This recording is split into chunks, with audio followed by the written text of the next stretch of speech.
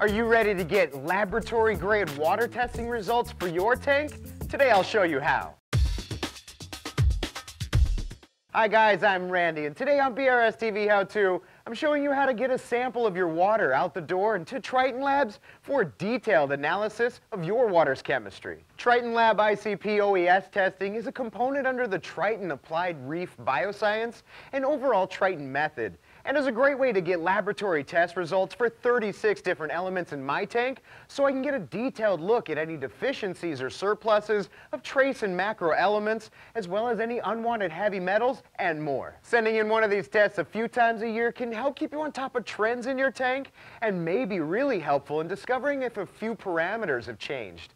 I would also consider sending in water samples of Triton if I've started something new in my tank, like supplement methods, nutrient control methods, or maybe even a new salt brand. One last thing I like about testing with Triton is that although they do have their own method of supplements and replacing trace elements, which we'll dive into a bit deeper later, you don't have to be using their method for the results to have meaning for you and your tank.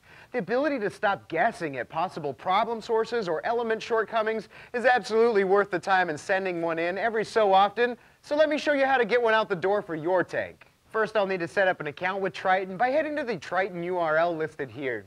From this page, I can find the registration button and create a new user profile. Once I have the confirmation email, I should be able to navigate to the aquarium admin page and click New Aquarium to enter my tank's info. With my tank parameters all set, I'm ready to take the sample of my water. Your test kit will come with two sample vials, a couple of unique barcodes, a sticky shipping address label, and some instructions.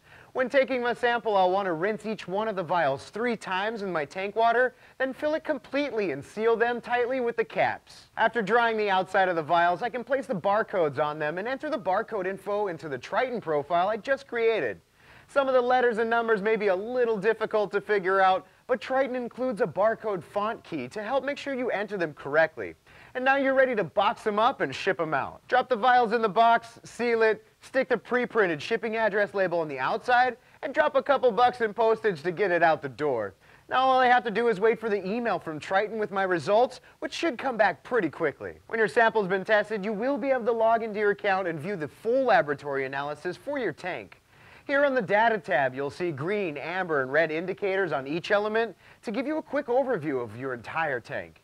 Then you can use the Help and Dose tabs to get an explanation or possible reasons for any imbalances as well as approaches you can take to correct them. Well guys, that wraps up this how-to. If you have any more questions, please don't keep them to yourselves because that's what this team of reefers lives for. Give us a quick call or email and if you need your answer in the next 60 seconds, hit us up with a chat. See you in the next episode of BRS TV.